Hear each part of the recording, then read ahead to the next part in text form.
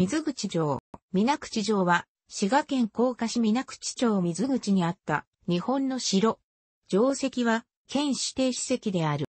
水口城は安川の中流域にあり、周辺はなだらかな水口丘陵である。北には東海道、南方に水口神社、そして安川が流れる。南部は安川の広背部で田が広がっていた。また、高南部、蘇間谷を経て、伊賀へと抜ける感動を伊賀街道が通る。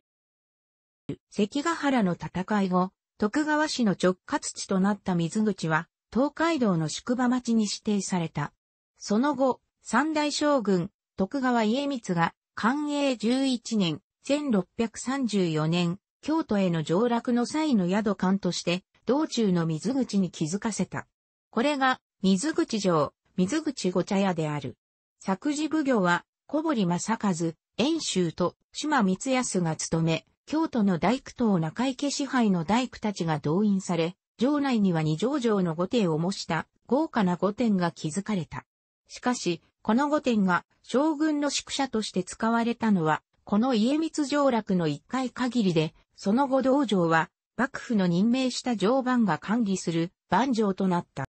天那2年、1682年に加藤昭友が二万国で入場し、水口藩が成立した。それまで幕府お抱えの宿館として常磐を置いて管理していたが、水口城は同氏の居城となった。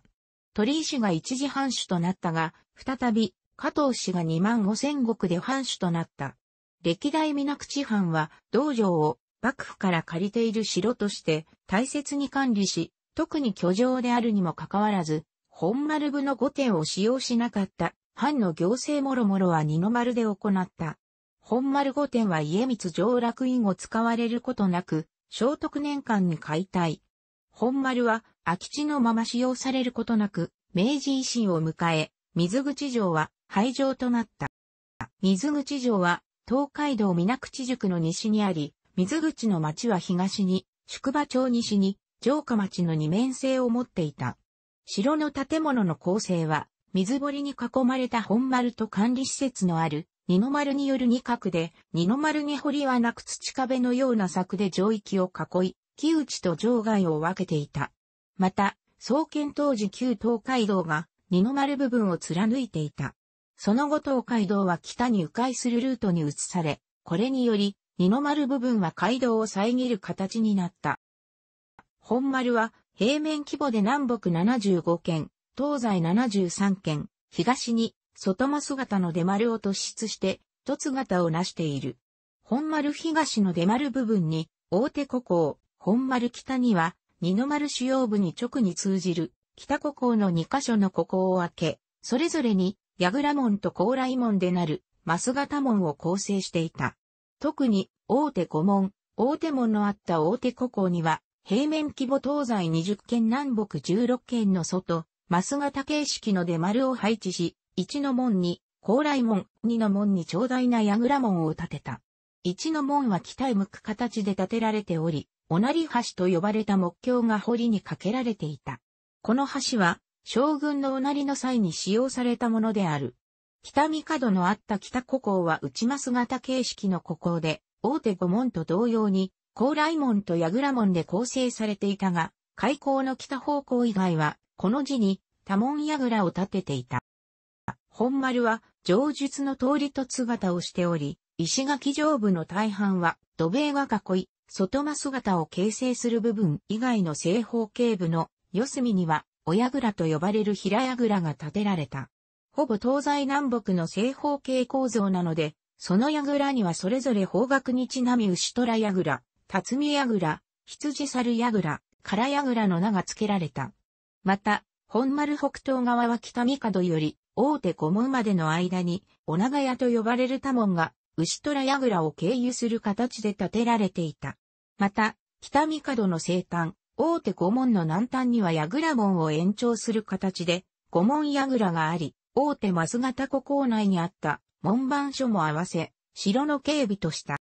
上日のように、本丸周辺は石垣を巡らし、土塀や城門、櫓で固められていたが、本丸御殿は将軍家宿館としての性格を色濃く示している。この御殿は、こけらぶきの規模の大きい建物で構成され、公的空間の表向きとして気空間の奥向きに大別できる。奥向きは将軍が宿泊の際の御座所であり、御殿やお風呂や御ティン、ティーンイコールチンなどの建物があった。特に御ティンは御座所に面する庭園にあり、2階建て防楼風の建物であった。全体として建物は隙を凝らしている。